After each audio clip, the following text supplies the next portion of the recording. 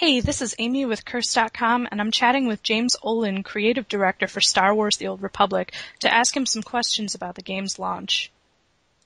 Well, one question we had is we were wondering what the team is doing to ensure manageable queue times during the launch period.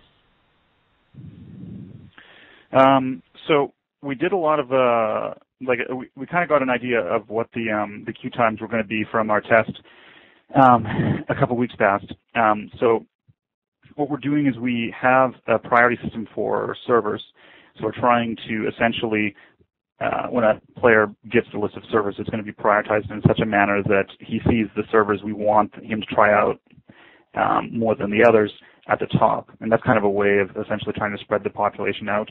We also have, obviously, the, uh, uh, the queue times are going to be listed on the server list. So, you know, if you when you see the queue times for some of the really popular servers, um, you're most likely going to want to go to uh, another server to try to uh, you know get into the game earlier. But um, we don't. We are going to have queue times. We don't think that's a bad thing as long as we keep the queue times to a reasonable level. We know that there's some fear about that because uh, there was some screenshots from our, our test two weeks ago where it was like six hour queue times, but that was actually a bug.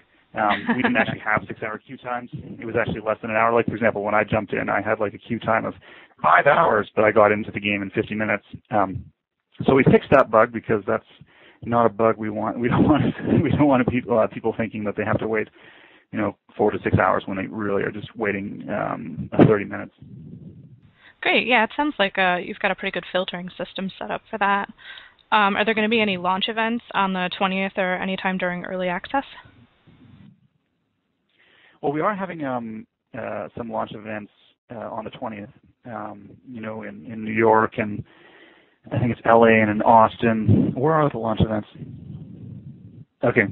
Oh, Austin. Okay. Now it's just in Austin and New York at the London and Paris.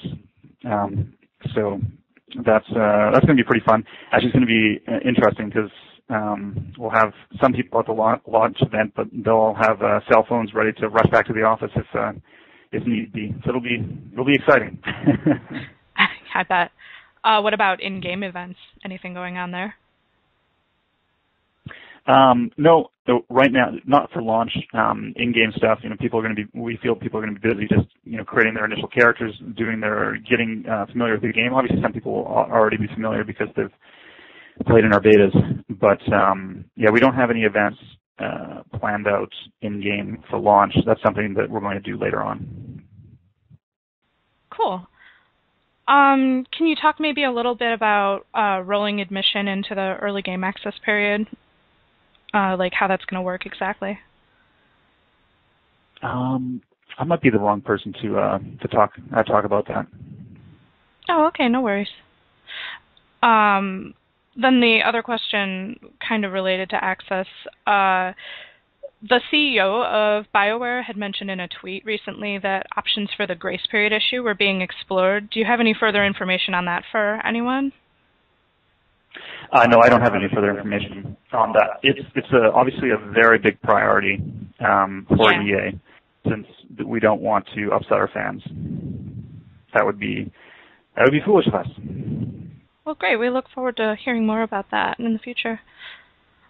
Um, there was some excitement today. Uh, emails were sent out to, you know, for people to check guild deployment statuses and stuff. Uh, does this mean that anyone who gets that email can play right away with their guild, or are they going to need to wait for their head start email? Like, which takes priority? I'm pretty sure they're going to have to wait for their head start. Okay. Um, do you have any future plans for increased user interface customization in the near future? Um, yeah, actually, the meeting I was just in was um, uh, about our future, uh, just our future strike teams, the teams we have assigned to some of our the critical systems we want to continue um, to develop. Well, we want to touch a lot of different systems uh, post launch, but some of the systems that we've identified as as the most important um, include UI uh, customization, um, another one is guilds, guild functionality. Um, obviously, the legacy system, um, we, we're going to be uh, giving out a lot more on that system. So those are some of the things that uh, that the team is going to be working, well, actually is is already working on in uh, anticipation to get some of that out there as soon as possible. Sweet. Um, speaking of future updates, like, do you have any kind of interval plan for content additions, or is that all kind of up in the air at the moment? Like, how often? Um, we uh, we want to have a regular cadence of um, content drops, and you know the content we're going to be delivering is mainly going to be aimed at um, the high level characters, essentially level 50 characters.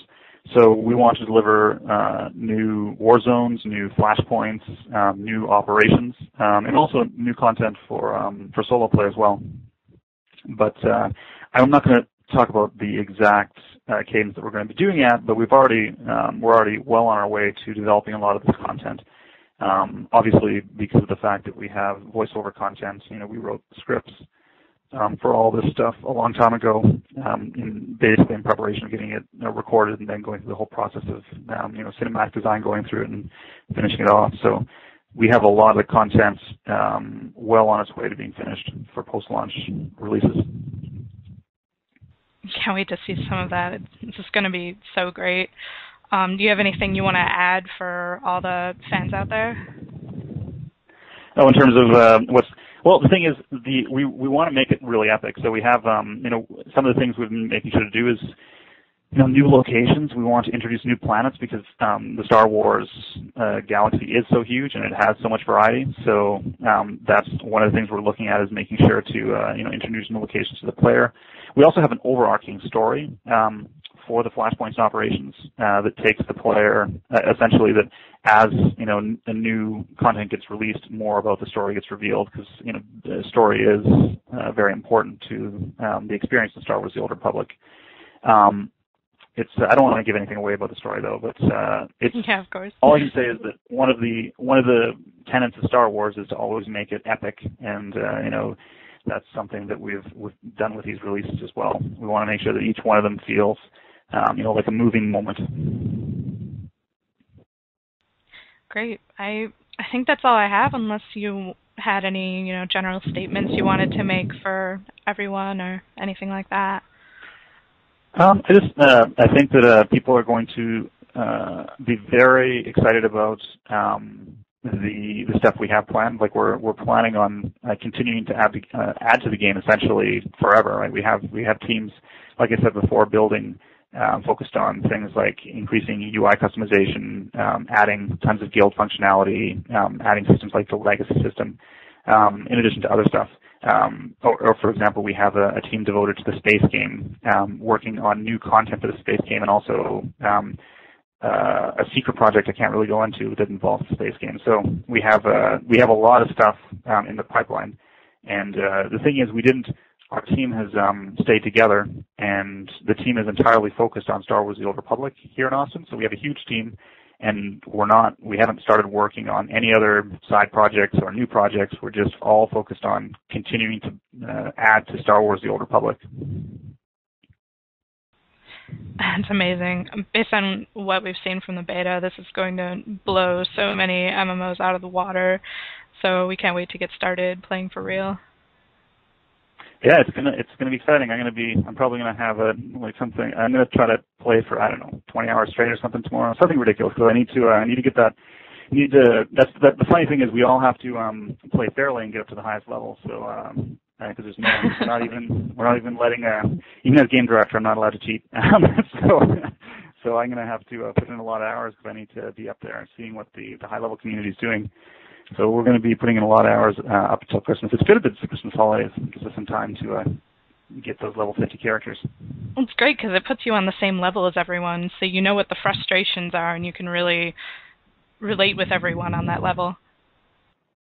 Yeah, that's a that's actually a really important part of, uh, and that's a part of Bioware's culture as well. Is um, you know all the way uh, all the way up to the highest levels. We're all we all play the games that we develop. So um, you know, I'm going to be playing the game. Um, you know, Rich Vogel's going to be playing the game. Ray and Greg, the Doctor founders of Bioware, are going to be playing the game, and we're all going to be um, uh, trying to get up to level 50.